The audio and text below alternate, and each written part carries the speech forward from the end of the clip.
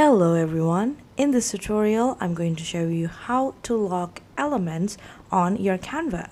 So most of the time we would want to change a lot of things when we're designing something and sometimes we make mistakes by accidentally moving something while we're trying to edit the other element. For example, right here I have a bunch of elements made into my design. I got text and then I got this line element, I got this dot element and for example if I want to move the dot element I might accidentally click on the line and moving the line instead. So I'm going to show you how to lock your element in place in order to avoid having to continuously misclicking and mismoving your element. So first things first, you're going to want to click on the element you want to lock. And for example, I want to lock this line right here. All I have to do is click on this more options that will appear once you click on an element. And then you will want to scroll down until you find this lock option. And here you can see that we got two options. We got the lock option as well as the lock position only. And I'm going to show you what is the difference between those two.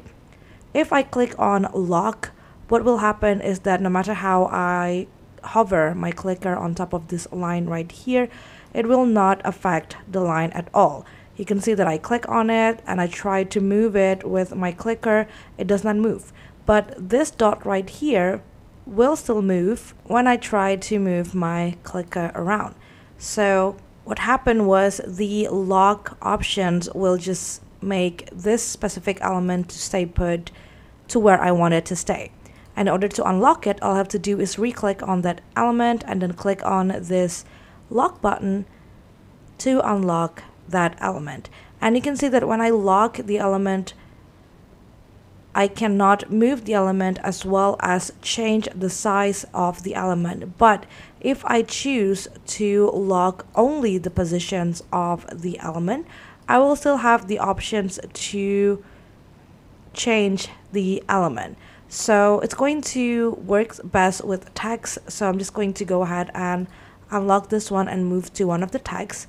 Here I'm just going to go ahead and lock this element for position only and you can see that I can still change the text even though I will not be able to move the element around. So that is the difference between locking your element in positions only and lock your elements altogether.